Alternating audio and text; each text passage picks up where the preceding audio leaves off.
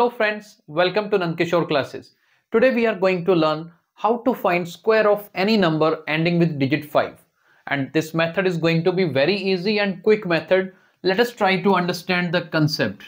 Let's suppose we want to find square of 25. Square of 25, it's very easy to find. See, when a number is ending with 5, just do its square. Square of 5 is 25 so write 25 here. What to do with the first number 2? This first number should be multiplied with next number. Next number for 2 is 3. So 2 multiply 3 we need to do. 2 multiply 3 is 6. See it is not difficult. It's very easy. Let us try with one another number. 45 square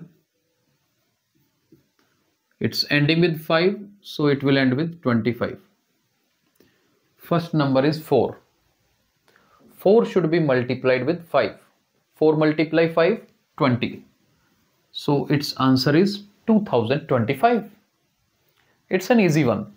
Check one. 6 5 65 square. 65 square means 5 square is 25 and this 6 should be multiplied with the next value 7 6 times 7 is 42 so this is going to be the answer. How easy this method is to apply? I am giving one question to you. 85 square. 85 square. Please do this. Find 85 square and write its answer in comment box. The rule which we have done till now this is applicable for two digit number but this is not the end. This is applicable for three digit number also. I'm going to show you one example. Let's have a look. By that time do 85 square and write its answer. See a three digit number i am taking now 105 you can apply same rule here.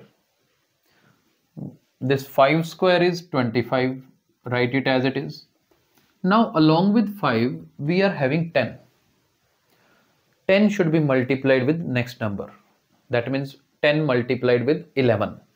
10 with 11 gives you 110. See, this method is applicable. Next number 115. 5 square is 25. Now 11 should be multiplied with 12. 11 multiplied with 12 gives 132. See, this method can be applied. Why I have shown you how this method can be applied to three digit number because usually people ask it. And I would say this method you can apply by the time you are able to multiply two digit number with the next value obviously right so this method is applicable but it is up to us uh, up to which number we are going to use it usually in competitive exams this method is used for uh, 15 square 25 35 45 square. That means for two digit numbers.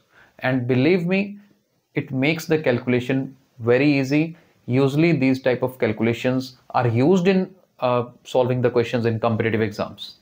I hope this method is clear to you. And if you like this video you think that this video is helpful for the others please share it as well. Thank you so much